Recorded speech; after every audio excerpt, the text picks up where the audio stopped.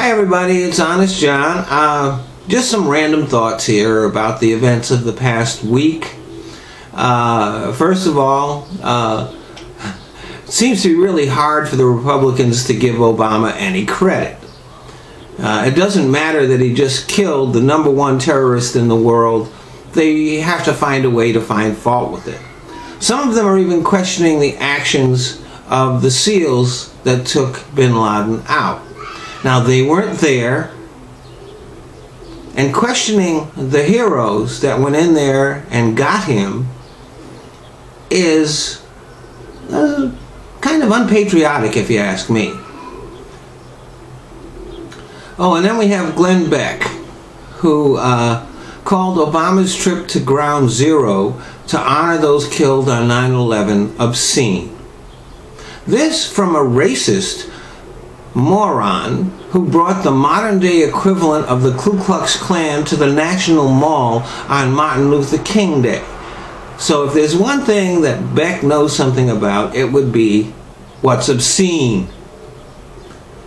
And uh, Sarah Palin called on Obama to stop pussyfooting around. Shooting somebody in the face is not pussyfooting, really. And then we have a bunch of people who are saying that we should end all aid to Pakistan. Well, most of the supplies to our troops go through Pakistan. So they are either seriously out of touch with reality or they don't support the troops.